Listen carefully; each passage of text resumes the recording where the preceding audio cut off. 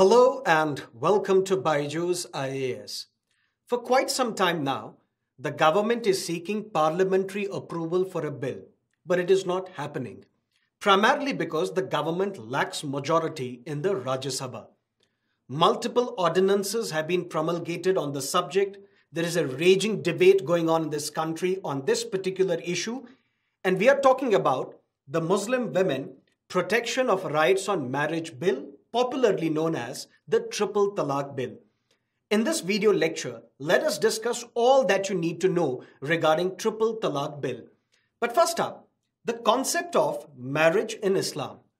Islam places a particular emphasis on marriage. In fact, marriage is a sacred institution in Islam. That is why celibacy or bachelorhood is discouraged in Islam. Islam says that marriage completes the faith of a Muslim. But at the same time, this marriage is also a contract, a contract between husband and the wife. And just like any other contract, this contract can also be broken. That means the divorce is allowed. But what are the Islamic ways of granting divorce?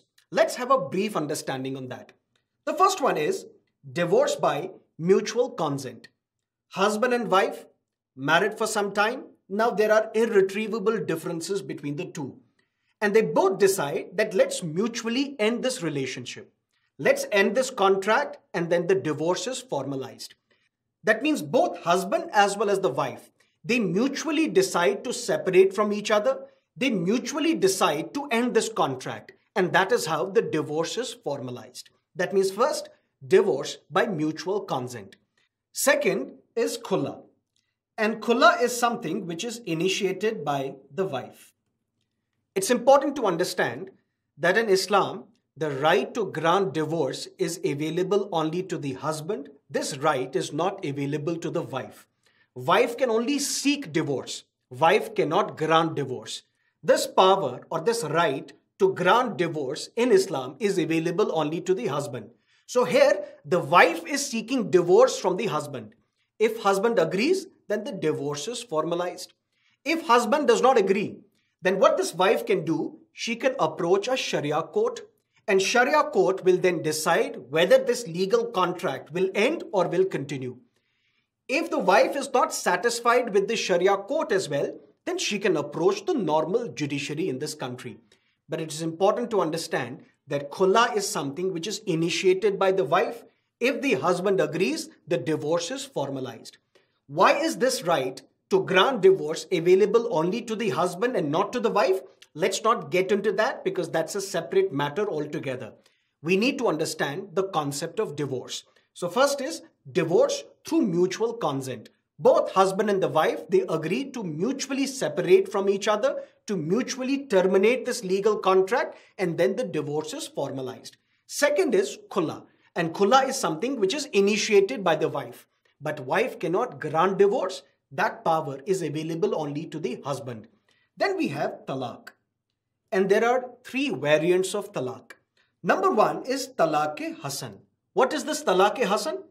The husband pronounces talaq but only once and then waits for 30 days. That means if the husband has to grant divorce to his wife, he says talaq once and then waits for 30 day period. What happens in these 30 days? Two things can happen. Number one, arbitration. Number two, reconciliation. What is arbitration here? If the husband has granted talaq to his wife, then the village elders can come into the picture, family members can come into the picture and try and convince both sides, husband as well as the wife, that you look beautiful together. There are differences in every relationship, but you should move on and you should continue with this legal contract. There is no reason for you to separate from each other. Arbitration can take place. Reconciliation can also take place. Both husband and wife, they can mutually decide to reconcile all their differences. They can mutually decide that now we should give this relationship another chance and during these 30 days, at any point in time, the husband can take this talaq back. That means this talaq is revocable. That means once the husband pronounces talaq on his wife, he waits for 30 day period. During this 30 day period, reconciliation can take place, arbitration can take place, and at any point in time, this talaq can be revoked by the husband. If it didn't happen, then say talaq again. And then wait for another 30 days. And another 30 day period is meant for reconciliation and arbitration. But if husband decides not to revoke this talaq, then he says talaq again and at the end of the 90 day period, the divorce is formalized. That means what is the Islamic way of granting divorce? Talaq Hasan. What is Talaq Hasan? Husband pronounces talaq, then waits for 30 days. Husband pronounces talaq again, then waits for 30 days. Husband pronounces talaq again, waits for the 30 day period. After the 90 day period is over, then the talaq is guaranteed, the talaq is formalized. That means after 90 day period is over, the husband cannot revoke the talaq. That's talaq hasan. Then we have talaq ahsan, which is considered to be the most pure form of talaq. What is it? Husband pronounces talaq on his wife, but only once, and then waits for 90 days. During this 90 day period, again, reconciliation can take place, arbitration can take place. During this 90 day period, the husband can revoke talaq at any point in time. But once this 90 day period is over, the divorce is formalized. After that, you cannot revoke the talaq. The husband cannot revoke the talaq. That is what we call talaq ahsan and talaq hasan. Then there is another variant of talaq. And this is the bone of contention here. This is a very controversial one. Talaq biddat. If you look at this word biddat, it comes from Arabic word bidda. And bidda means innovation. That means this form of talaq was not present at the time of the Prophet. This was innovated later on. And what is this talaq biddat? Husband pronounces talaq on his wife three times in a single utterance. That means the husband says talaq, talaq, talaq three times in a single utterance and then the divorce is formalized. That means in this talaq biddat, the husband need not wait for 90 day period. This talaq biddat, it's called as instant triple talaq. That means instantly, when these three words are uttered by the husband, the divorce is formalized. You cannot revoke this talaq again. And it is this talaq biddat which was in question before the Supreme Court. This form of talaq or instant triple talaq was considered to be discriminatory against the Muslim women. Talaq was given on WhatsApp, Skype, through a postal letter, on a phone call.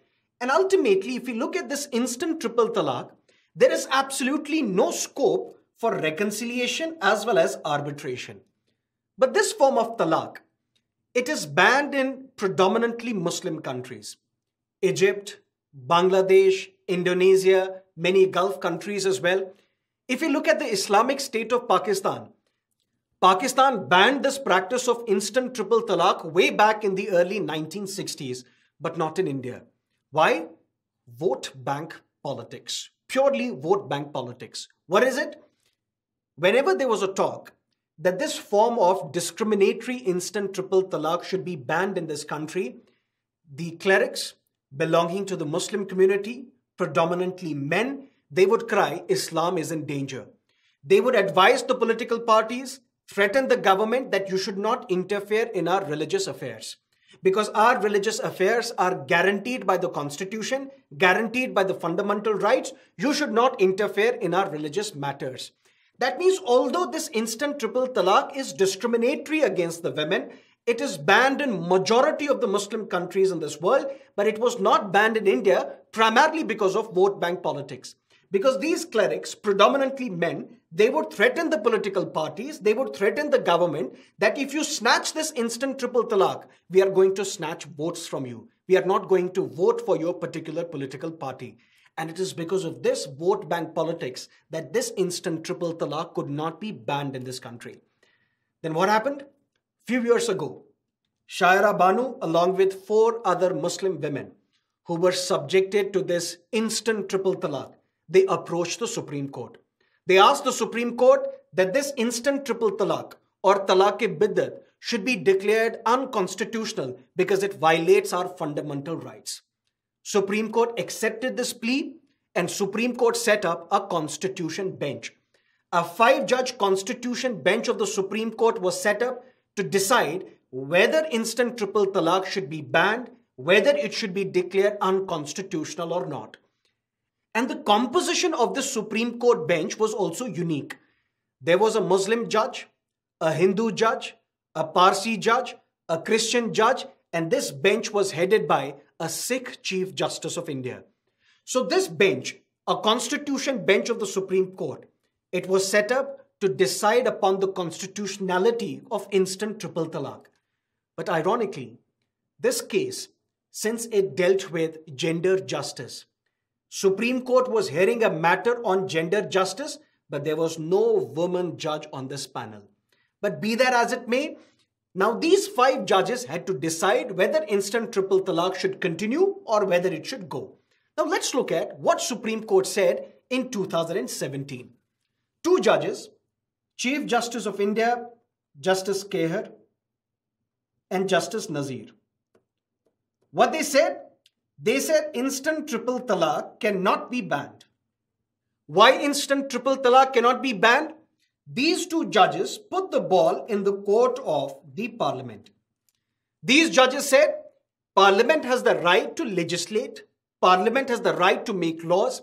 And if Parliament decides to make a law and declare that instant triple talaq will no longer continue as the valid form of a divorce, we don't have an issue, but we are not going to ban it. Let Parliament take a call. These two judges also said that religion is not a matter of logic, religion is a matter of faith. So there are certain things in religion which you may consider irrational, illogical, but nevertheless, they are part of the religion because religion is not a matter of logic. Religion is a matter of faith. In fact, these judges said something else as well. What these judges said? They said instant triple talaq is a part of Muslim personal law. Muslim personal law deals with Islam. Islam is a religion. Right to religion is a fundamental right. So, by this logic, Muslim personal law is also a fundamental right. And it is for the first time, perhaps, in the history of independent India that personal laws were elevated to the status of fundamental rights. That means personal laws, which also talk about instant triple talaq, they were given same sanctity as that of the fundamental rights. So two judges are clearly saying that we are not going to ban instant triple talaq, let parliament take a call. But what these two judges said they said we are going to impose a stay on this practice of instant triple talaq for a period of six months. So there are six months available with the parliament. Let parliament take a call, enact a law within this period of six months and decide whether instant triple talaq should continue or whether it should go. So two judges are clearly not in favor of declaring instant triple talaq unconstitutional. What about two other judges? Justice Rohinton Fali Nariman and Justice U Lalit. What these two judges said? They said instant triple talaq is unconstitutional. Why is it unconstitutional? These two judges said that even if there is a law which was passed prior to the commencement of the constitution, our constitution got enacted in the year 1950 Muslim personal law was passed in the year 1937. Supreme Court judges said that even if there is a pre-constitutional law, but even this pre-constitutional law must conform, must be in agreement with the constitution. And if any such law is in violation of the fundamental rights guaranteed by the Constitution of 1950, we are going to declare such a law as unconstitutional. These two judges said since instant triple talaq is arbitrary without any application of logic. Since instant triple talaq is arbitrary, violating the constitutional rights, violating the fundamental rights of the Muslim women, that means it violates Article 14 of the Constitution of India, which is right to equality. Supreme Court said right to equality also includes right against arbitrariness. And since instant triple talaq is arbitrary, arbitrarily employed by the Muslim men, Muslim husbands, that is why instant triple talaq is unconstitutional. Now, two judges, triple talaq cannot be declared unconstitutional. Two judges, triple talaq or instant triple talaq is unconstitutional. Now we have to understand what did the fifth judge on the bench say. The fifth judge, Justice Kurian Joseph. Justice Kurian Joseph said instant triple talaq is un-Islamic. Why is it un-Islamic? Kurian Joseph said that in Islam, there is a provision for granting divorce, talaq, but there are two prerequisites for that. Any form of talaq must include two things. Number one, reconciliation. Number two, arbitration. But in this form of instant triple talaq, there is absolutely no scope for reconciliation. There is absolutely no scope for arbitration because this type of talaq is irrevocable. Once instant triple talaq is given, you cannot revoke it. And since it violates two prerequisites, two conditions, which is arbitration and reconciliation, which is an integral part of divorce in Islam, that is why instant triple talaq or talaq-e-biddat is un-Islamic. That means by the majority of 3 is to 2. Two judges, they decide to not interfere in instant triple talaq. Three judges, they decide that this instant triple talaq should not continue. But the reasons given were different. These two judges said it is unconstitutional. Kurian Joseph says it is un-Islamic. That means by the majority of 3 is to 2, instant triple talaq is set aside. That means it is no longer a valid form of divorce. It was not declared unconstitutional because only two judges said it is unconstitutional. It was only set aside because the majority judges felt that instant triple talaq should not continue, but for different reasons. Two judges said because it is unconstitutional, it should not continue. One judge said because it is un-Islamic, that is why it should not continue. And that is how in 2017, the Supreme Court ruled that instant triple talaq is set aside. That means even if the husband pronounces instant triple talaq on his wife, it will not lead to divorce because the marriage is still valid. But even after the 2017 verdict, the government said that the Supreme Court order is being flouted. The government said that we have come across more than 60, some reports said more than 250 instances where instant triple talaq has been pronounced by husbands on their wives. That is why there is a need for a law so that this law can punish those husbands who violate the Supreme Court order, who subject their wives to harassment by pronouncing instant triple talaq. That is why the need for a law was felt. And last year also, the government tried to bring in a bill in the parliament. It was passed in Lok Sabha, but it failed to get the nod of the Rajya Sabha because the government does not enjoy majority in Rajya Sabha. Then ordinance was promulgated. Then another ordinance was promulgated. And now there is a bill pending in the Rajya Sabha. This Muslim Women Protection of Rights on Marriage Bill 2019. We'll have to wait and watch whether it will be passed in Rajya Sabha or not. But now let's understand some of the provisions of this bill. Then we will critically analyze this bill. We will look at the arguments of those who criticize this bill and then see whether these arguments are justified or not. First up, let's look at the provisions of this bill. Provision number one, the offense and penalty. This bill makes declaration of talaq a cognizable offense and a husband can be subjected to three years in jail along with a fine. But what is a cognizable offense? Broadly, offenses are either cognizable or non-cognizable. If an offense is cognizable, then the police can arrest the accused without a warrant issued by the magistrate. That means if an individual has committed an act and this act is a cognizable offense, then the police does not require the warrant issued by the magistrate. Even in absence of a warrant issued by the magistrate, this individual can be arrested. That means if the husband pronounces instant triple talaq on his wife, this act is a cognizable offense. That means the police can arrest this husband without any warrant issued by the magistrate. There are other offenses which we call non-cognizable offenses. For example, defamation. If you defame me, would you be arrested? Yes. But for that, the magistrate has to issue a warrant.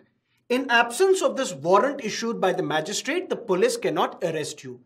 That means offenses are broadly of two types cognizable offenses and non cognizable offenses.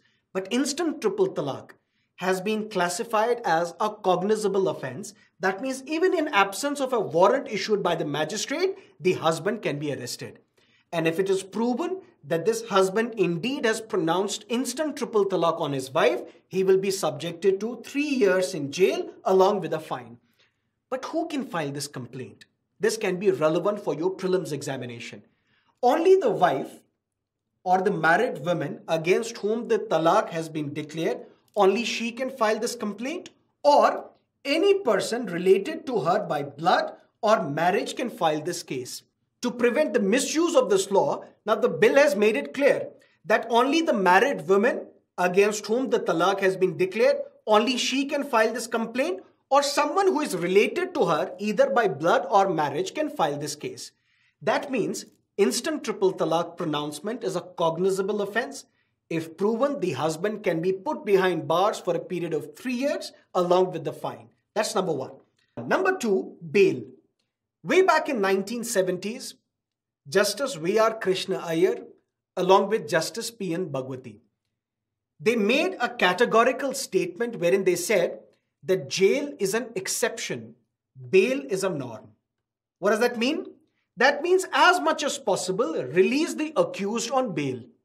Jail is only an exception. Under which circumstance? If the accused can tamper with the evidence, if the accused can threaten the witnesses, if the accused can run away from this country, only in these instances should an accused be sent behind the bar. In all other cases, the accused should be released on bail. Previous versions of this bill considered that no bail should be given to the husband who is accused of pronouncing instant triple talaq.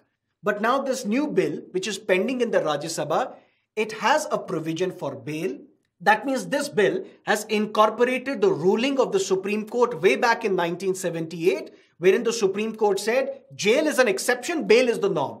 Now the bail can be granted to the husband by the magistrate. But for that, the magistrate has to hear the woman as well. Without hearing the woman, the magistrate cannot release the husband on bail. But bail is present in the bill. Let's look at another provision compoundable offense. Offenses can further be classified into two. Some offenses are compoundable, other offenses of heinous nature are non compoundable offenses. What is a compoundable offense? For example, there is a dispute between you and me.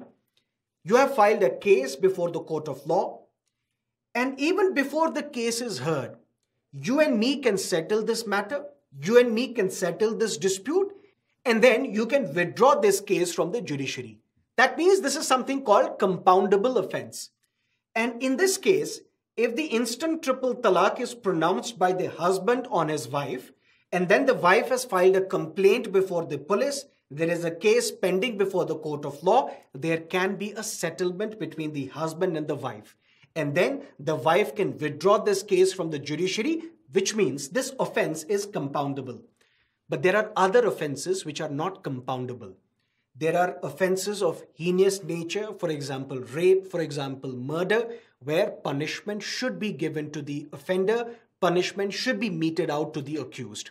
Those offenses are what we call non compoundable offenses. This can be another potential statement for your prelims examination. Instant triple talaq, the offense may be compounded by the magistrate upon the request of the woman against whom the talaq has been declared. That's another provision of this bill. Let's look at two more provisions. Number one, allowance. If the husband has pronounced instant triple talaq on his wife, the magistrate will decide upon the allowance as well.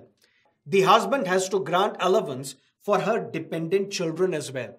And this amount of allowance will be determined by the magistrate.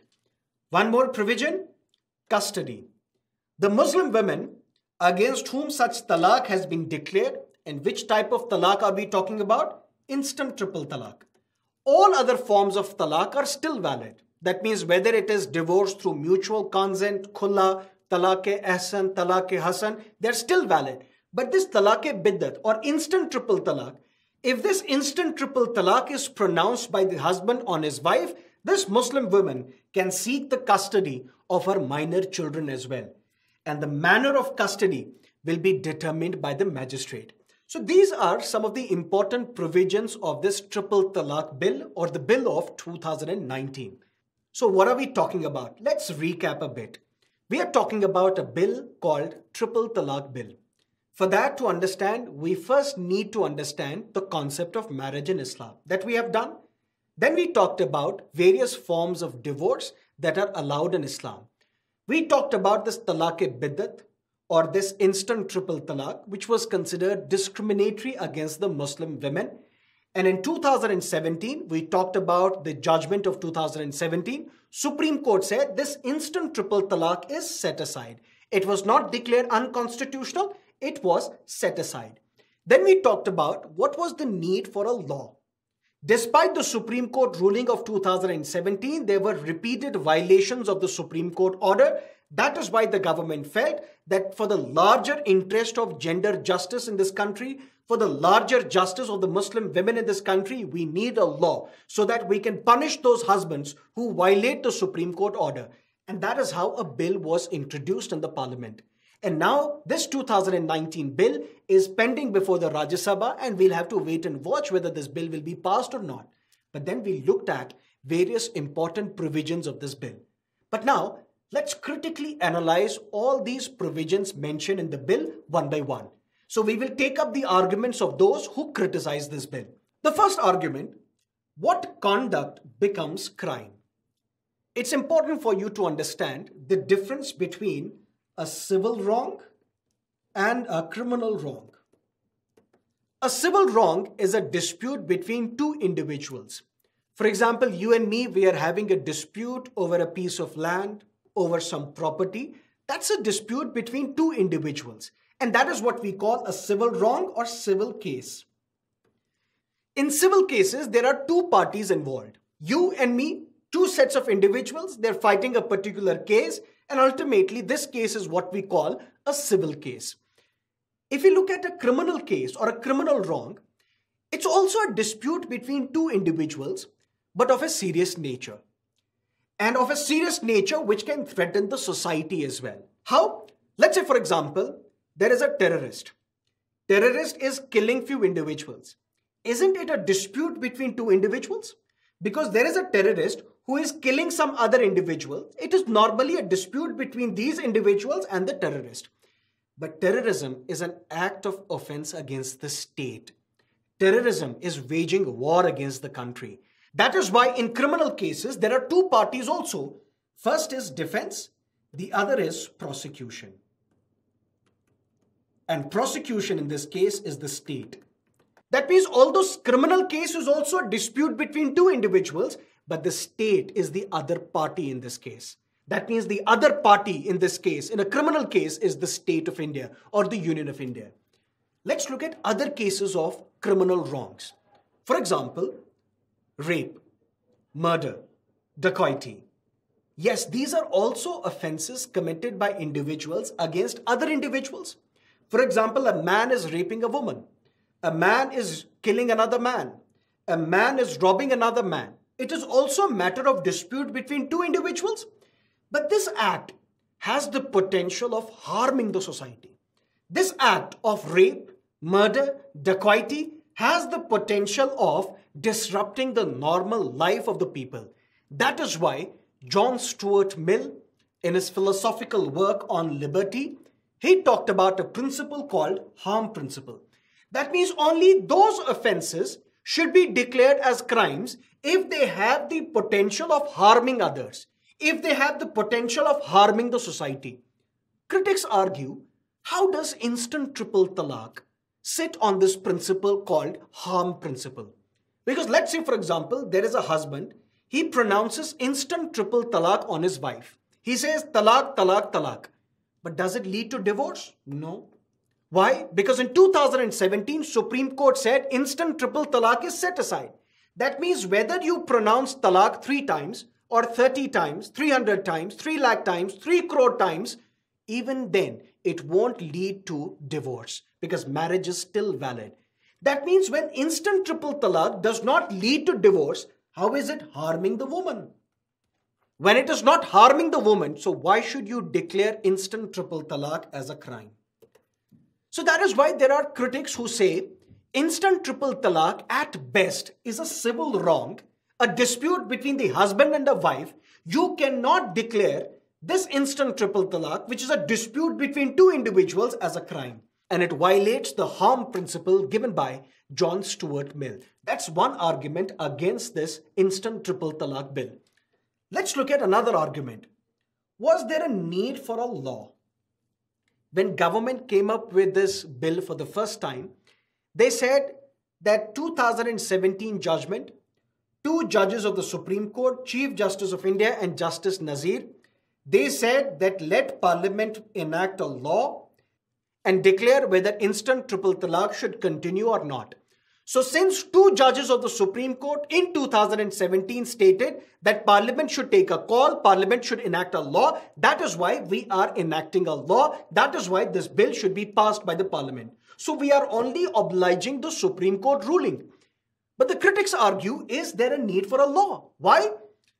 When in 2017, Supreme Court ruled that instant triple talaq is set aside. Under Article 141 of the Constitution of India, it becomes the law of the land. That means any order issued by the Supreme Court, any verdict issued by the Supreme Court, any ruling issued by the Supreme Court, it becomes the law of the land under Article 141 of the Constitution of India. So if the law of the land is settled, that instant triple talaq is set aside. If a husband pronounces instant triple talaq on his wife, it does not lead to the annulment of the marriage. The marriage is still valid. So why is there a need for a law? And that is why critics argue that this bill violates the theory of Montesquieu as well. Montesquieu, French philosopher, wrote, There is no greater tyranny than that which is perpetrated under the shield of the law and in the name of the justice. So basically, to paraphrase this statement, Montesquieu is saying that if there is no need for a law, but then the parliament enacts a law, it is tyranny. It's an unjust rule. So if under Article 141, the Supreme Court ruling made it clear that instant triple talaq is set aside, it becomes the law of the land. Why is there a need to pass another law on the same subject? So it is tyranny according to the critics. Now, there can be a question on your mind that despite the fact that in 2017 Supreme Court said instant triple talaq is set aside, even if the husband is pronouncing instant triple talaq on his wife, you should punish this husband. You can still do that without bringing in another law. How? Contempt of court. If there is a husband who, despite the Supreme Court ruling, is pronouncing instant triple talaq on his wife, and the government says to punish this husband, we need a law. You don't need a law to punish this individual because this individual can be punished because of contempt of court as well. Because he is committing contempt of court, so there was no need for a law, according to critics. Then let's look at another argument. It's a very important argument mens rea. In criminal cases, mens rea is very important or that's what we call guilty intention. And I will make it simpler for you. For example, you and me, we are walking on the road, we are exchanging pleasantries, we are discussing something, and suddenly I pushed you. Unintentionally, but I pushed you. And you came under a speeding car and you're dead. Will I be punished for murder? No, because what was my intention? My intention was not to push you so that you can come under the speeding car and you will get killed. That was not my intention so I will not be punished for murder. That means in criminal cases, intention or guilty intention is of very, very important significance. Mens. Here is a husband who is pronouncing instant triple talaq on his wife. Is his intention to grant divorce to his wife? No. Why? Because whether he says instant triple talaq three times or 300 crore times, it is still not going to lead to divorce. So when it is not leading to divorce, why are you punishing this individual for divorce? So basically, if we consider mens rea, instant triple talaq should not have been declared a crime. That's another argument according to the critics, which is why they oppose this bill. Then let's look at another argument. presumption of innocence and the burden of proof. Let's say, for example, there is an individual E. He is accused of a crime. He is an accused. Will he be punished by the judiciary? Yes. But under criminal justice system in this country, or for that matter, anywhere in the world, there are two things important. One is presumption of innocence. That means whenever an accused is brought before the judiciary, the judiciary assumes that this individual is innocent. Then what happens? The prosecution, the state has to prove that this individual is guilty. The state, the prosecution has to prove that this accused is in fact an offender, a criminal. And that is when the judiciary pronounces verdict on this individual and sentences him to jail or to death. That means in criminal justice system, there is always something called presumption of innocence. The burden of proof is on the state to convince the judiciary that this individual is guilty beyond any reasonable doubt. Look what can happen in this instant triple talaq case. The husband pronounces instant triple talaq on his wife. Wife files a complaint before the police. The case is before the judiciary. How can this wife prove beyond any reasonable doubt that this gentleman, this husband, pronounced instant triple talaq on his wife? If this instant triple talaq was pronounced through WhatsApp, through Skype, maybe there can be recordings of that. But if it is an oral pronouncement of instant triple talaq, how can the prosecution, how can the state prove beyond any reasonable doubt that this individual pronounced instant triple talaq on his wife? because it will become very difficult for the prosecution to prove the guilt of this husband beyond any reasonable doubt. There are critics who also say that the punishment of three years is disproportionate. That means a husband pronouncing instant triple talaq on his wife will be sentenced behind bars for three years. It is disproportionate. Why? Look at the punishment scheme under the Indian Penal Code. We have an Indian Penal Code it lists down various punishments for various offenses, for various crimes. Let's look at this punishment scheme. For sedition, it is life imprisonment as well as three years. That means what are the crimes under Indian Penal Code which has three years imprisonment? There is sedition. If you are booked for sedition, you can be sentenced to life imprisonment as well as to three years for malicious insulting of religion or religious beliefs of any class, three years. For rioting armed with deadly weapon, three years. And now these are very serious offenses. These are very serious crimes. And now you are equating all these serious crimes with instant triple talaq. What does that mean? That means instant triple talaq is in no way comparable to these offenses under Indian Penal Code for which the punishment is the same three years. Because what is happening here? The husband, instead of following the normal route of divorce, where the husband has to wait for 90 days, instead of waiting for 90 days, he pronounces instant triple talaq and he says that this marriage should get dissolved in an instant. That means you are comparing this individual who has pronounced instant triple talaq on his wife and you are comparing this offense with the offenses such as sedition, such as rioting, that too armed, such as malicious insulting of religion or religious beliefs, critics say that instant triple talaq pronouncement can in no way be compared with these offenses. But let's look at another punishment scheme under Indian Penal Code. Causing death by a rash and negligent act, imprisonment of two years only. Bribery, imprisonment for one year, destroying, damaging, or defiling a place of worship, imprisonment for two years, causing public nuisance, fine of rupees 200. So that means under this instant triple talaq bill, you are saying that these offenses are lesser offenses than instant triple talaq. That is why critics argue that this punishment for a husband who pronounces instant triple talaq on his wife, it is disproportionate. You can't be sentencing an individual for up to three years in jail if this individual has committed a far lesser an act, far lesser a crime than these crimes. That is why critics argue that this punishment scheme is unjustifiable, it is also disproportionate. The critics also argue that because of this bill, something else can happen. So there will be an unintended consequence of this bill. Why? If you look at a particular bill, it has some intended consequences. It has some unintended consequences as well. This instant triple talaq bill, the government intends that the consequence will be that arbitrarily the husband will not divorce his wife. Husband has to follow a particular guideline. Husband has to follow a non-discriminatory method to grant divorce to his wife. This is an intended consequence. That is what the government tries to achieve through this bill. But critics argue there can be an unintended consequence because of this bill. For the fear of prosecution, the husband, because he fears prosecution under this law, what he will do? He will not grant divorce. Instead, what he will do? He will abandon his wife. Just like many Hindus are doing. They're simply abandoning them. That is what critics fear would happen to Muslim women as well. They would be simply abandoned by their husbands. That is going to be an unintended consequence because of this bill.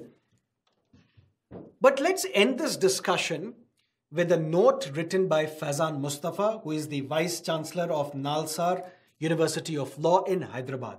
What he says, no social law can really succeed in solving social problems. Triple talaq is a social problem. The government says that since instant triple talaq judgment of the Supreme Court 2017 was violated by the people, was violated by the Muslim men, that is why we need a law. But look at what is happening at the Sabarimala. A five judge constitution bench of the Supreme Court had to decide whether women of menstruating age between 10 to 50 whether they can enter the inner sanctum sanctorum of the Sabarimala temple in Kerala. By the majority verdict, four judges of the Supreme Court said women of all age groups must pray at the Sabarimala. And even after this verdict, we have seen protests in Kerala where openly people in Kerala are protesting against this verdict, are openly deciding that we are not going to follow the Supreme Court verdict. Does that mean that tomorrow the government should bring in a law and declare all those protesters as criminals because they are violating, not obeying the Supreme Court order? Because what is required, the Supreme Court ruling, or for that matter, any law, there has to be legal awareness. Maybe there are individuals who pronounced instant triple talaq on their wives. Maybe they were not knowing that there is a Supreme Court ruling which has set instant triple talaq aside. That means instead of a law, we require legal awareness to create an awareness amongst the Muslim community that instant triple talaq is not a valid form of divorce. That means we can't be making laws just because there have been violations. That's number one. Number two, when this instant triple talaq bill talks about allowance or compensation that the husband has to pay to his wife, but look at it this way this form of talaq is prevalent amongst the lower strata in the Muslim community. Because only in lower strata of the Muslim community do we find instances of instant triple talaq or talaq biddat. Then the husband would be sent to jail but then this husband has to provide compensation or allowance to his wife as well as his dependent children. How can this individual provide compensation to his wife when he is in jail? When the husband is in jail for three years, which means he cannot earn in these three years, how can he provide compensation to his wife? How can he provide allowance to his dependent children? That means there are some provisions in this bill which are unimplementable. That's number one. Number two, this bill also talks about custody of children, custody of minor children, which will be determined by the magistrate. But when do we normally talk about the custody of children? At the time of divorce. At the time of divorce, the magistrate has to decide, has to rule whether the minor children will go with the mother or with the father. But if you are saying instant triple talaq does not lead to divorce, that means even if the husband is pronouncing instant triple talaq on his wife, the marriage is still valid, the marriage is still legal. That means it does not lead to divorce. Why are we talking about custody of children? That means there are some inconsistencies within the bill as well. That's what Faizan Mustafa writes. He says no social law can really succeed in solving social problems. law is not a great agent of social control. Because Faizan Mustafa questions haven't the laws related to dowry, related to child marriage, haven't these laws failed? That means no law can really succeed in solving social problems. We need to create awareness for that. That is what Faizan Mustafa writes. Faizan Mustafa also argues that we need to remove the stigma which is attached to divorce. That means ideally, divorce should not be treated as the end of the world for divorcees. They should be encouraged. They should be encouraged. The divorcees should be encouraged to continue with their lives. We need to encourage the women that you can survive even without a man. There is no need to over empathize with this institution called marriage. Marriage is a contract, it's a civil contract between two individuals, and just like any other contract, this contract can also be terminated. We should remove the stigma which is attached to divorce. That is what you need to understand from this issue, Triple Talaq Bill. Thank you for watching.